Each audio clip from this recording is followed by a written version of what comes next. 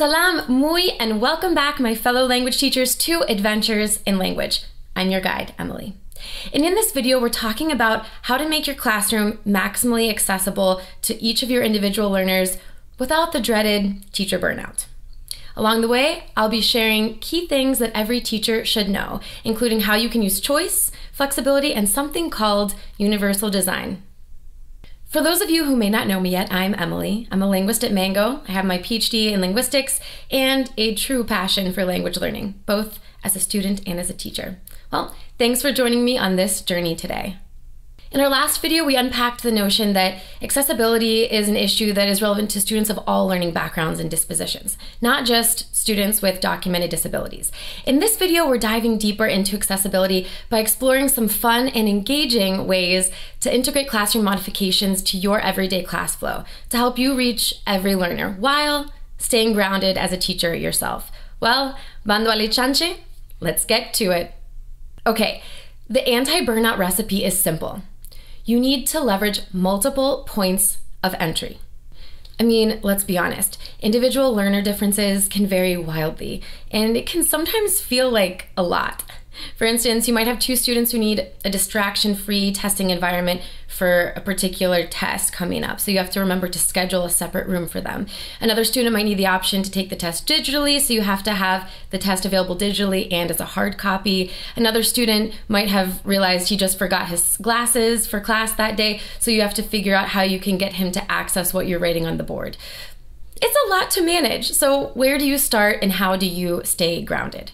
While scheduling, logistics, and improvising work is unavoidable, a lot of what it means to have an accessible classroom actually can be preemptively solved by having planned flexibility. And by that I mean multiple points of entry. Okay, but what do I mean by multiple points of entry? It means providing your learners with multiple ways to access, explore, and practice the learning content. Just in the way that there's no one essay prompt that's gonna resonate equally across all of your students. There's no one lesson, activity, assessment type that's going to be optimally accessible for all of your students. In fun fact, the principle of multiple points of entry comes from a pedagogical framework known as UDL, or Universal Design for Learning. And that framework was originated in the field of architecture. It was only later applied to education.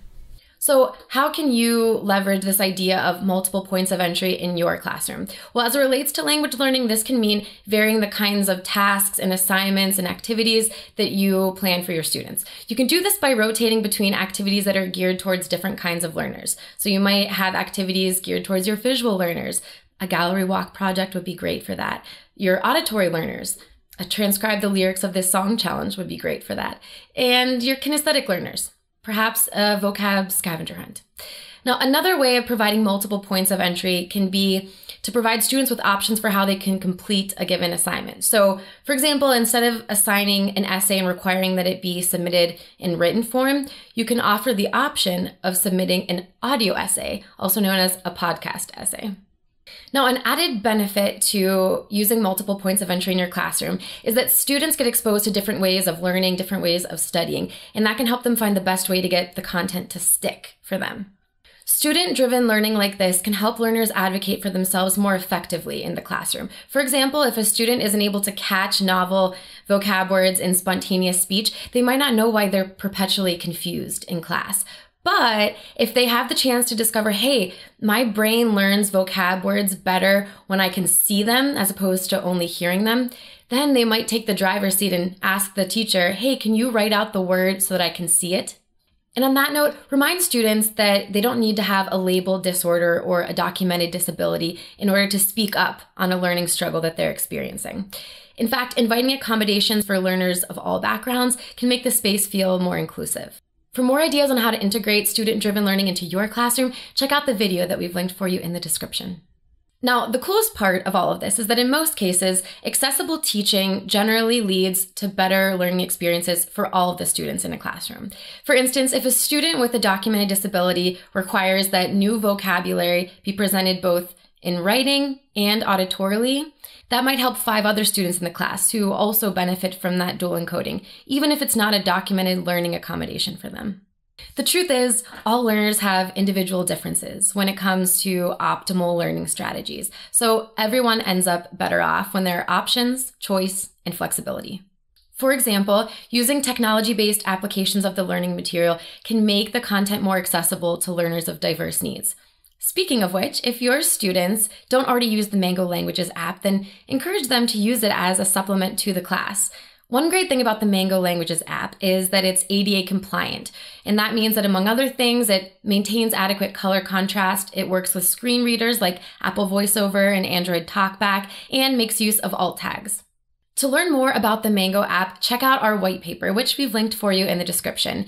It outlines how the app's unique features offer an innovative entry point for learners of diverse needs.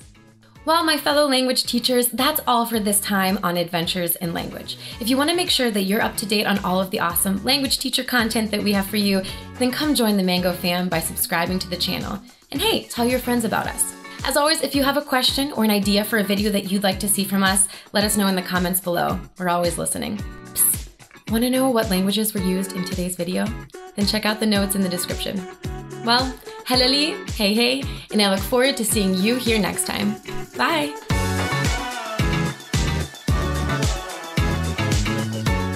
I'm back and I'm here to remind you to get your free language teacher goodies, which you can access through the link in the description.